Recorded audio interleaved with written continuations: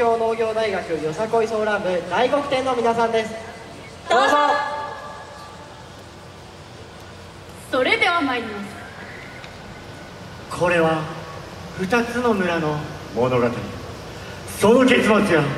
いかにはあ。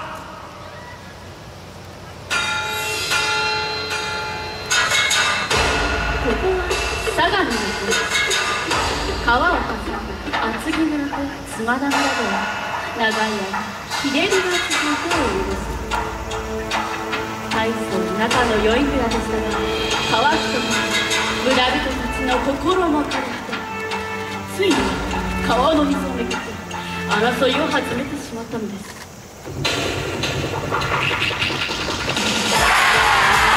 大量やし時の声戦の足が立ち上る命の水を奪い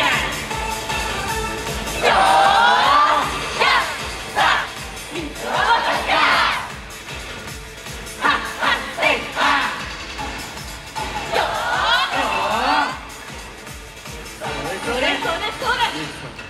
さを増し争いで燃え尽きた命の思いが精霊に村人の目に触れること憂いよ儚く。そして悲しみは怒りへ。姿を変える。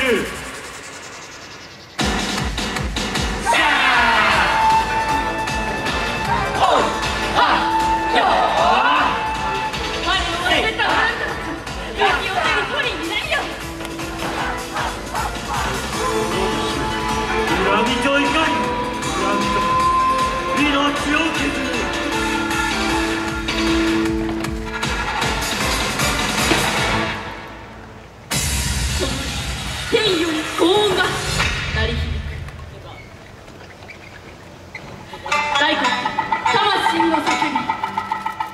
命あって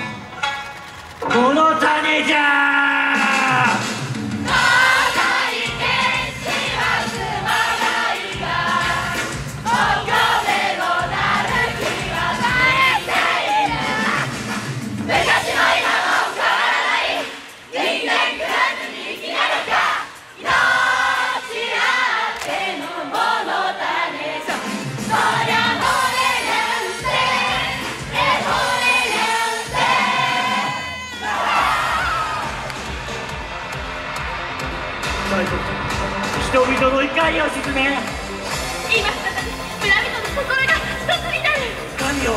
大黒天よ。さあ。さあ。中に雨を恵みの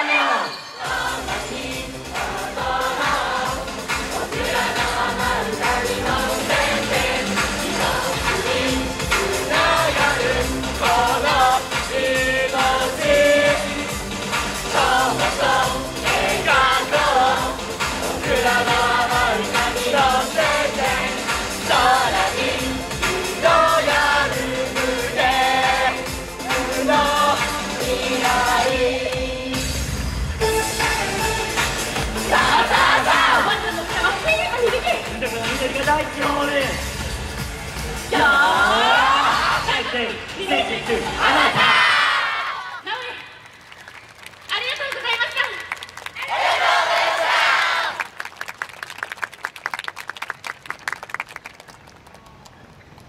ありがとうございました。東京農業大学よさこいソーラン部大黒天の皆さんでした。続いては